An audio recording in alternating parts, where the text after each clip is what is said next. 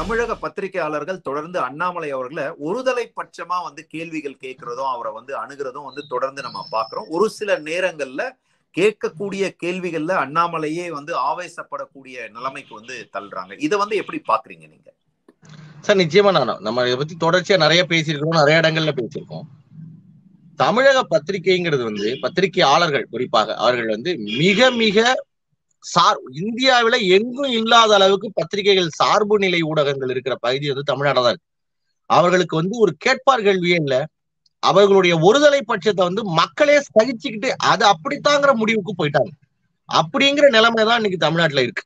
அப்ப பாரதிய பாரதிய ஜனதா கட்சி அல்லது தேசிய கட்சி அல்லது திராவிடத்துக்கு எதிராக வலிமையாக குரல் கொடுக்கக்கூடியவர்கள் அவர்கள் எல்லோரையும் ஒரு ஏளனத்தோட அவர்கள் எல்லோரையும் ஒரு எதிரிகளை போல அவர்கள் எல்லோரையும் வந்து தமிழ்நாட்டுக்கு ஏதோ விரோதிகள் போல அவர்கள் ஏதோ ஒரு ஒரு ஆல்ரெடி ஒரு ஊழல்வாதிகளை போலவும் அவங்க மேல ஒரு சித்தரிப்ப ஒரு தோற்றத்தை உற்பத்தி செய்யறத மட்டுமே இவர்கள் மொத்தமாக நோக்கமாக வைத்திருக்கிறார்கள். நீங்க வந்து எப்ப பார்த்தாலும் ஒரே விஷயம்தான். திமுகவில் நடக்கக்கூடிய விஷயங்களை வந்து அவங்க எந்த சமயத்திலையும் ஹைலைட் பண்ணவே மாட்டாங்க. ஆனால் அதை விட அல்லது அதை போல ஏதோ ஒரு சம்பவம் இங்க நடக்குது. ஏன்னா எல்லா இடங்களிலும் மனிதர்கள் தான் இருக்காங்க. எது வேணாலும் நடக்கலாம். அப்ப அவங்க திமுகவில் நடக்கிறப்ப அதை எப்படி ஹேண்டில் பண்றாங்க எப்படி அதை அணுகுறாங்கிறத நீங்க பாத்தீங்கன்னாலும் பாஜக செய்கிற போது அவங்க அதை எப்படி சொல்றாங்க? அதாவது மொத்த பாஜகவும் இதுதான். மொத்தமா பாஜகவே தான் அதனுடைய தலைமை படத்துல இருந்து அப்ப வந்து எல்லாத்தையும் அவங்க வந்து பிராண்ட் பண்ணி ஒட்ட தயாரா இருக்காங்க.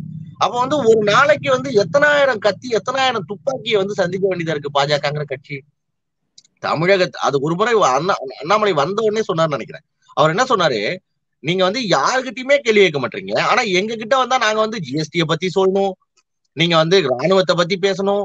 நீங்க பொருளா இந்த பொருளாதாரத்தை பத்தி பேசணும். அப்புறம் விவசாயத்தை பத்தி பேசணும். அத ஒரு பாஜக மாநில தலைவருங்கிறவங்க வந்து நீங்க வந்து அவருடைய தகுதி எப்படி இருக்கணும்னா கிட்டத்தட்ட ஒரு இந்தியாவையே எல்லாத்தையும் பத்தி தெரிஞ்சிருக்கக்கூடிய ஒரு ஸ்காலரா எல்லாத்துலயும் இந்த அந்த ஒவ்வொரு துறையிலையும் தனித்திறமை இருக்கக்கூடிய மனிதராக இருக்கணும் போல. அவ்வளோ படிச்சுட்டு வந்து அவ்வளோ தெரிஞ்சு வச்சுட்டு வந்து எல்லாத்தையும் ஒருத்தன் சொல்றான்னா நீங்க வந்து அவர்களை எப்படி அணுகுறீங்க?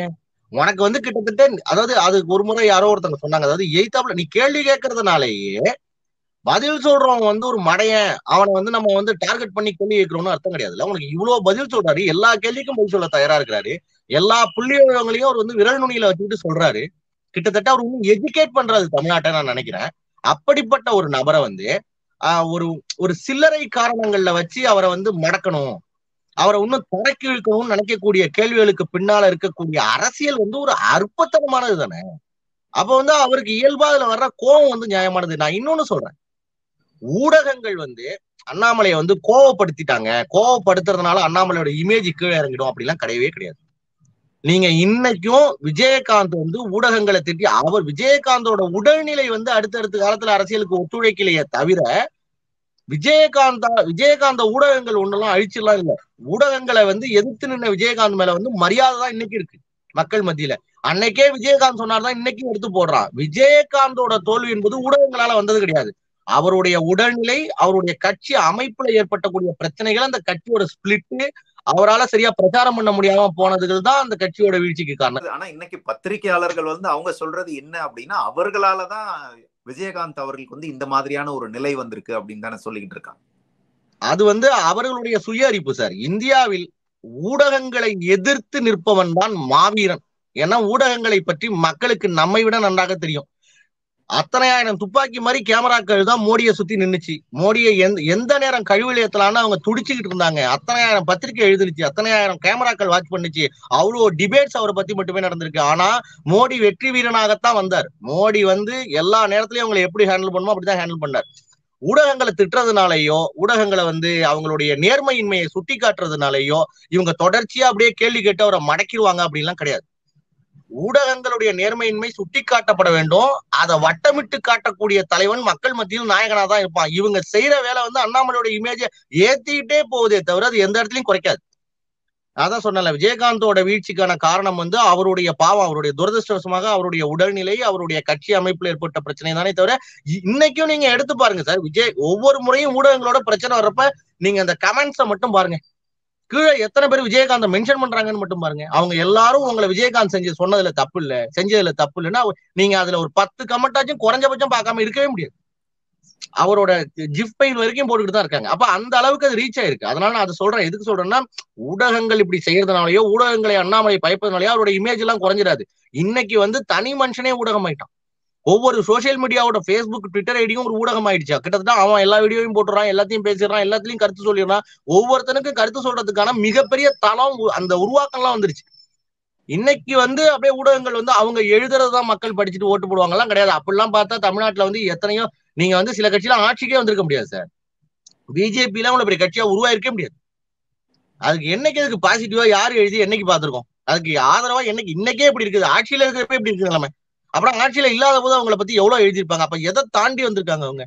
அதனால அதை பத்தி கவலையே பட வேண்டிய அவசியம் இல்ல. அதுல வந்து அண்ணாமலை கரெக்டா அதாவது ஒரு யாரை எப்படி எக்ஸ்போஸ் பண்ணணுமோ இன்னைக்கு வந்து அண்ணாமலை அடுத்த ஒரு ஒரு ஒரு நிலைமையை கொண்டு வந்து வச்சிருக்காரு. எப்படின்னா ஊடகங்கள் வந்து ஏன் தன்னுடைய பேரையும் அந்த ஊடகத்தோட பேரையும் சொல்லிட்டு பதில் கேள்வி கேட்கக்கூடாதுங்கிற நிலைமையை தமிழ்நாட்டுக்குள்ள கொண்டு வந்திருக்காரு. நீங்க எந்த சேனல்ல இருந்து வரீங்க உங்க பேர் என்ன அப்படிங்கறத அண்ணாமலை மட்டும் முதல் முறையா கேட்கல இத வந்து. பல முறை வைகோ கேட்டிருக்கிறார் மத்த அரசியல்வாதிகள் கேட்டிருக்கார். அப்பெல்லாம் பேசாத ஊடகங்கள் இன்னைக்கு அண்ணாமலை கேட்கும் போது அது ஒரு பெரிய தவறு அப்படின்ற மாதிரி பேசுறாங்க. இல்ல அது நீங்க வந்து அது வந்து மேனஸ் நீங்க வந்து ஒருத்தர் அதான் அதாவது சார் ஒரு திருடன் தானே சார் தன்னோட வீடு எங்க இருக்கு தன்னுடைய பேர் என்ன எல்லாத்தையும் மறைப்பான்.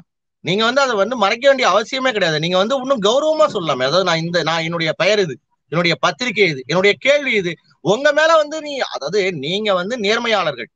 நீங்க வந்து யாருக்கும் சார்பாக இல்லை என்கிற போது அதை பத்தி நீங்க கவலைப்பட வேண்டிய அவசியமே இல்லையா? உங்களை வந்து எல்லா கட்சியும் சொல்றீங்க. ஆமா நீங்க வந்து அவங்களுக்கு சாதகமா இருக்கீங்கன்னு சொல்றீங்க. அவங்க வந்து உங்களுக்கு சாதகமா இருக்காங்கன்னு சொல்றாங்கன்னு தான் நீங்க சொல்றீங்க. அப்ப அதை பத்தி கவலைப்படாதீங்க. சொல்லி கே- சொல்லிட்டு கேளுங்க. நான் நேர்மையா ஒரு கேள்வி கேட்கிறேன். அதாவது ஒரு ஒரு கட்சி ஆதரவு பத்திரிக்கை கூட கேள்வி வைக்கலாம்னு நேர்மையான கேள்வி வைக்க கூடாதுன்னு இருக்கு. ஒரு திமுக ஆதரவு பத்திரிக்கையோ ஒரு அதிமுக ஆதரவு பத்திரிகையாளரோ இல்ல வந்து நேரடியா அந்த ஆதரவாளரோ ஒரு நேர்மையான கேள்வி வைக்க கூடாதுன்னு இருக்கா? தன் சொந்த கட்சிக்காரன்ட்டே வைக்கலாமே இந்த கேள்வி அப்படி இருக்கிற போது நீங்க தைரியமா உங்களுடைய பேரையும் உங்களோட சேனலையும் சொல்லிட்டு போயிட்டீங்கன்னா அவங்க அந்த கேள்வி எதிர்கொள்ள போறாங்க. ஆனா உலகம் முழுக்க இந்த பிரச்சனை இருக்கே சார். இப்படிப்பட்ட நீங்க வந்து இந்த சிஎன்என் வந்து எத்தனை முறை வந்து ட்ரம்ப் எல்லாம் வந்து ரவுண்டு கட்டி நீ உனக்கு நான் பை சொல்ல மாட்டேலாம் சொல்லியிருக்காரு. அப்போ வந்து அந்த கேள்விக்கு பின்னால் ஒரு அஜெண்டா இருக்குங்கிறது வந்து எங்க பார்த்தாலும் அரசியல்வாதிகள் புரிஞ்சு வச்சிருக்கிறது தானே. அதுல ஒன்றும் ஆச்சரியம் இல்லையே. அதனால என்னை பொறுத்தவரை அண்ணாமலை வந்து அவர் வந்ததுலேருந்து இந்த ப்ரெஸ் மீட்ஸ்லயும் சரிதான். அந்த ஒரு ப்ரெஸ் மீட்டை வந்து எப்படி பயன்படுத்திக்கிறதுலயும் சரிதான். அவர் அளவுக்கு நிகரான ஒரு தலைவர் இல்லை. அவர் வந்து ப்ரெஸ் மீட் நிறைய கொடுக்குறாருலாம் கிடையாது. அவர் வீக்லி ஒன்ஸ் தான் கொடுத்தாரு. அதுவும் வந்து இப்போ வந்து குறைச்சிட்டே வராருன்னு நினைக்கிறேன். ஏன்னா அவருக்கு வேலை நிறைய களத்துல வந்துருச்சு. நீங்க வந்து கம்ப்ளீட்டா அவர் இந்த பிரஸ் மீட் வழியாக அவர் வந்து ஒரு அஜ ஒரு ஒரு நல்ல அஜெண்டாவே செட் பண்ணார். அதாவது நிறைய தகவல்களை அதுவும் ரொம்ப சிஸ்டமேட்டிக்கா அந்த தகவல்களை மக்கள்கிட்ட எப்படி கொண்டு போய் சேர்க்கணும் எவ்வளவு கௌரவமா சேர்க்கணும் எவ்வளவு விஷயத்த அதுல சொல்லணும் எவ்வளவு அர்த்தம் போதியோட சொல்லணும் அப்படிங்கறதெல்லாம் அவர் செட் பண்ணி அந்த கிட்டத்தட்ட அவர் ஒரு மணி நேரம் பிரஸ் மீட் கொடுக்குறாருன்னா அதுல அபத்தமோ உளறலோ எதுவுமே இருக்காது. அவர் எல்லாமே டேட்டா பாயிண்ட வச்சு தான் பேசுவாரு. அப்புறம் வந்து அதனுடைய கடந்த கால வரலாறு இன்னைக்கு அது எப்படி இருக்கு அப்படிங்கறதுல தெளிவா அவர் அளவுக்கு விளக்குன ஒருத்தங்க வந்து இந்தியாலே ரொம்ப ரேர் தான். அவர் வந்து அந்த பத்திரிகையாளர் சந்திப்பு என்பதை மிக சிறப்பா செஞ்சாரு. இன்னைக்கும் அவர் வந்து அந்த பிரச்சனைகளை கோவப்படுறது எல்லாமே தேவைன்னு தான் நினைக்கிறேன். நீங்க வந்து எக்ஸ்போஸ் பண்ற நேரத்துல ஆட்களை எக்ஸ்போஸ் பண்ணி தான் ஆகணும். அதுல நம்ம தயங்கணும்னாலும் அதுல நம்ம கோவப்படுறோம் நம்மளோட கோவம் வெளில வரக்கூடாதுலாம் அரசியல் பண்றதுக்கு ரோபோ கிடையாதுல்ல. எப்ப பார்த்தாலும் சிரிக்கிட்டே வாங்க வாங்க வணக்கம்னு சொல்றதுக்கு ஒரு கட்சி தலைவரா அவரை போட்டிருக்காங்க? அவருக்கு கோபம் வரணும். அவர்கிட்ட எப்படிப்பட்ட கேள்வியில கேட்கணுங்கிற புரிதல் வரணும். அதுக்கு அவர் சில நடவடிக்கைகளை செஞ்சுதான் ஆகணும். அதனால அந்த விஷயத்துல வந்து முழுக்க முழுக்க பத்திரிகையாளர் சந்திப்பா இருந்தாலும் சரிதான் பத்திரிகையோட அஜெண்டாவா இருந்தாலும் சரிதான். அண்ணாமலை விஷயத்துல அவங்க தொடர் தோல்வியை மட்டும்தான் சந்திச்சுட்டு இருக்காங்க என்னை பொறுத்தவரை. இல்ல அப்படியாக அதாவது விருப்பம் இல்லாத பத்திரிகையாளர்கள் என்னுடைய அந்த பத்திரிகையாளர் சந்திப்பை நீங்க புறக்கணிக்கலாம் அப்படின்னு ஓப்பனா சொல்றார். இருந்தாலும் இந்த பத்திரிகையாளர்கள் வந்து புறக்கணிக்கிறது இல்ல திரும்பவும் அடுத்த நாள் வந்து அதிகமான நம்பர்ல தான் வராங்க. சோ அதுக்கு என்ன காரணமா இருக்கும்? இல்ல ஒன்னே ஒண்ணுதான் சார். இன்னைக்கு வந்து நீங்க வந்து அவருடைய பேட்டிகள் ஒன்று ஒன்று ரஜினி படம் ரிலீஸ் மாதிரி ஒரு பெரிய மாஸ் ஹீரோ ரிலீஸ் மாதிரி தான் வருது. அவருடைய வியூவர்ஷிப்லாம் ரொம்ப பெருசா போயிடுச்சு. நீங்க கெட்டதோ நல்லதோ அதுல வந்து அட்டை படங்கள்ல வந்து சில பேரோட படங்கள் இருந்தாதான் அந்த பத்திரிக்கை விற்பனை ஆகும் அப்படிங்கிற மாதிரியான ஒரு நிலைமை இருந்துச்சு. அப்படிதான் நிலைமை இன்னைக்கு இருக்குன்னு நினைக்கிறேன். அப்போ வந்து அண்ணாமலை அவர்களுடைய பேட்டியை வந்து உங்களுக்கு பிடிச்சாலும் பிடிக்கலனாலும் அவரை பாக்குறவங்க அவர் என்ன சொல்லியிருக்காருன்னு தேடுறவங்களோட எண்ணிக்கை ரொம்ப பெருசா இருக்கு. அவர் ஒண்ணு பேசியிருக்காருன்னா ஸ்கிப் பண்ணாம அந்த வீடியோவை பாப்புங்கிறவன் எண்ணிக்கை முழுசா பார்க்கக்கூடிய எண்ணிக்கை வந்து மற்ற தலைவர்களை விட அதிகமா இருக்கு. அப்ப அப்ப வந்து எ- எல்லா பத்திரிகைகளும் எல்லா யூடியூப் சேனலும் காசுக்கு தானே நடத்துறாங்க. அப்ப அவங்களுக்கு வந்து இப்ப அண்ணாமலையை பத்தி பேட்டி எடுத்து போட்டோம் அண்ணாமலையோட பேசுறத போடுறோம் அப்படிங்கிறப்ப அதுக்கு வர வியூஷிப் வந்து பெருசா இருக்கிறத. அவங்க எப்படி விடுவாங்க? அவங்க வந்து இவரே வந்து நான் மட்டும் பிரஸ் மீட் கொடுக்க மாட்டேன்னா கூட அவங்களுக்கு மடல் எழுத வாய்ப்பு இருக்கு. அண்ணன் தயவு செஞ்சு நீங்க வந்து கோச்சிக்காம மட்டும் எல்லா தடவையும் பிரஸ் மீட் நடத்தணும். அப்படின்னு பத்திரிகையாளர்கள் வந்து அவருக்கு லெட்டர் போட கூட வாய்ப்பு இருக்கு. நீங்க சொல்றதபடி பாத்தீங்க அப்படின்னா அண்ணாமலை அவர்களை வந்து நீங்க வந்து விரும்பலாம் இல்ல வந்து வெறுக்கலாம் ஆனா தவிர்க்க முடியாது அப்படின்ற ஒரு நிச்சயமா நிச்சயமாக அண்ணாமலை அவர்களுடைய அந்த பிரஸ் மீட் வந்து நிறைய பேருக்கு ஒரு நிறைய இன்ஃபர்மேஷன் கொடுக்குது. ஒரு நாலேஜபிளா இருக்கு. அதை பார்க்கறதுக்கே ஒரு ரசிகர் கூட்டமும் இருக்கு. தொடர்ந்து பேசுவோம். ரொம்ப ரொம்ப நன்றி சுந்தர். நன்றி சார். மிக்க நன்றி.